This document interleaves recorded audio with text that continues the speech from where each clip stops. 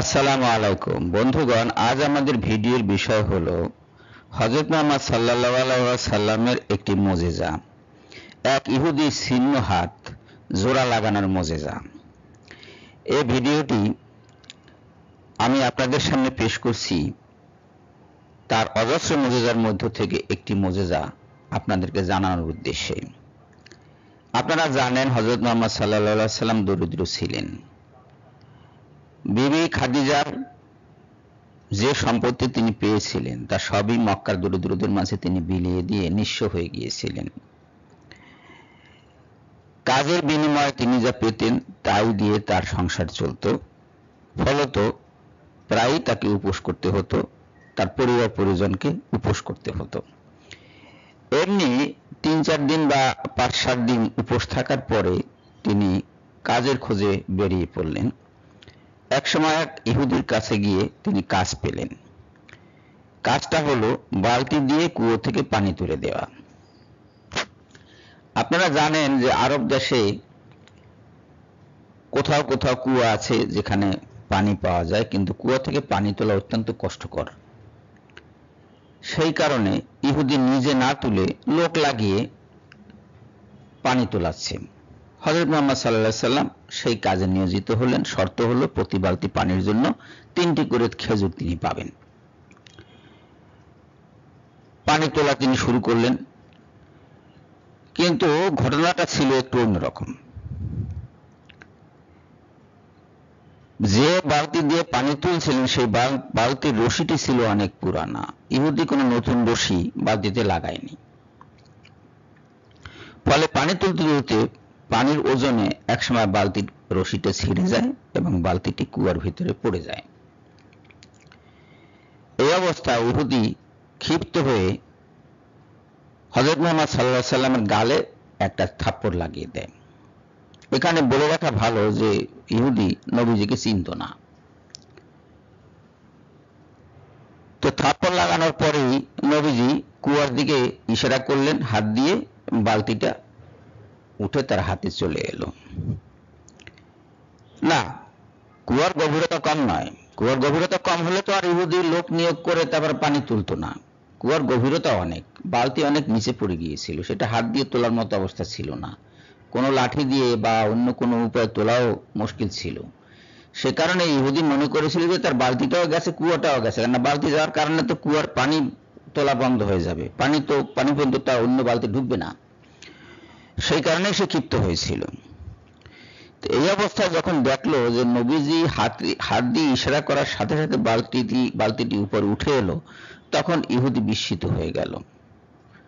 তার বিস্ময়ের ঘোর নাকারতি নবীজি বললেন, এই নিন আপনার বালতি। আপনার পানি আমি আর তুলব না, আপনার কাজ আমি আর করব না। আমার পাওনা আপনি মিটিয়ে দিন। এ পর্যন্ত যে কয় পানি আমি তুলেছি তার জন্য প্রতি বালতি পানির জন্য আপনি তিনটে করে খেজুর দেওয়ার অঙ্গীকার করেছেন, এই খেজুরগুলো আমাকে দিয়ে দেন, আমি চলে যাই।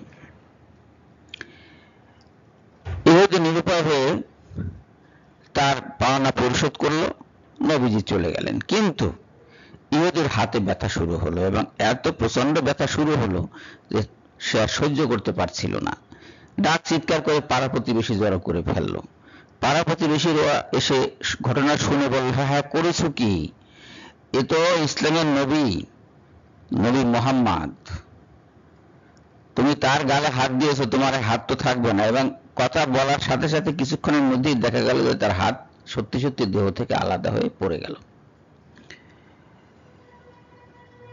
তখন ইহুদি তার ভুল বুঝতে পেরে সবাইকে নিয়ে নবীজির কাছে চলে এলো ক্ষমা চাওয়ার জন্য। সবাই এসে তাকে বলল যে ও আপনাকে চিনতে পারেনি আপনি ওকে ক্ষমা করে দিন।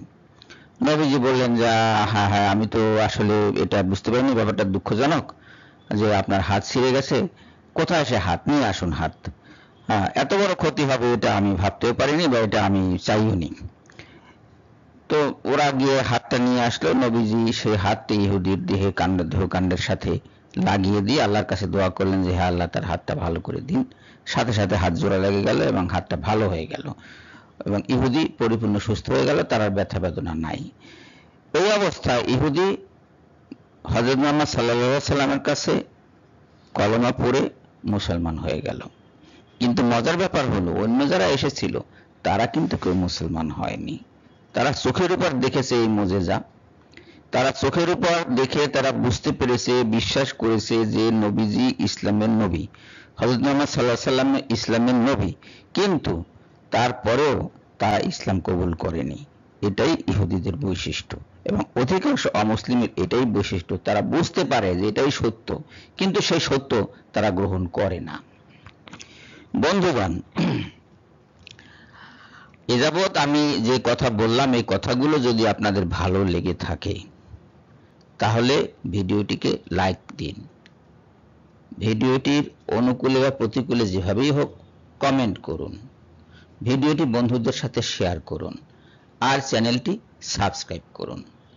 সবাইকে ধন্যবাদ জানিয়ে এখনকার মতো বিদায় নিচ্ছি। মনে রাখতে হবে যে হজরত মোহাম্মদ সাল্লাহ সাল্লামের এই মোজেজা শুধু একটা নয়, তার জীবনে হাজার তিনেক মোজেজা ঘটেছে। এবং এই মোজেজাগুলো এত জাজ্জল্যমান ছিল যে মানুষ তাই দেখে দলে দলে ইসলাম গ্রহণ করেছে। কিন্তু এখনকার কিছু অবিশ্বাসী তার বিরুদ্ধে অহেতুক নানা রকম কুৎসা এখনও ছড়িয়ে বেড়াচ্ছে। আমরা কি করব? বোকারা বোকামি করে, আমরা প্রতিবাদ করি। আসুন, আমরা সবাই মিলে প্রতিবাদ করি। আবারও বলছি, চ্যানেলটি সাবস্ক্রাইব করুন। সবাইকে ধন্যবাদ জানিয়ে বিদায় নিচ্ছি। আল্লাহ হাফেজ।